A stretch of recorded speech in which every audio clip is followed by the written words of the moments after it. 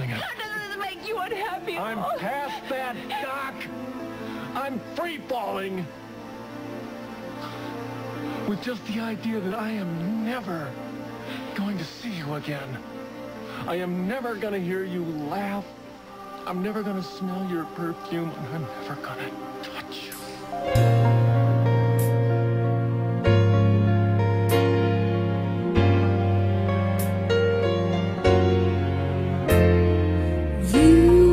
counts my love and my devotion.